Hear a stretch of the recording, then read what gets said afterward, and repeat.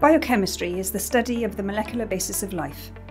It contributes to advances in all life sciences, including medicine, and has been at the forefront of many scientific discoveries, from the structure of DNA to the decoding of the human genome. And new advances are being made every day.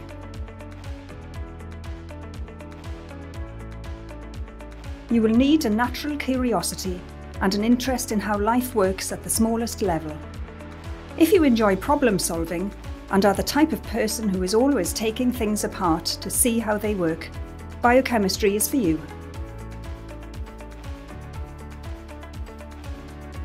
Typical areas of study can include the structure and function of biomolecules and how they communicate, turning fuel from food into energy, the role of enzymes in chemical reactions, the molecular basis of diseases such as diabetes and cancer, and gene and protein editing.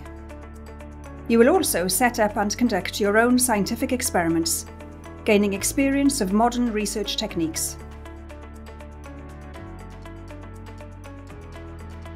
The career options for biochemistry graduates are varied, and the skills you develop will be attractive to a wide range of employers.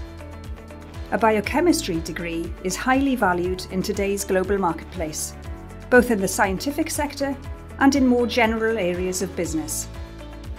If you're looking for a degree that stimulates your curiosity and allows you to explore the very foundations of life itself, then biochemistry is perfect for you.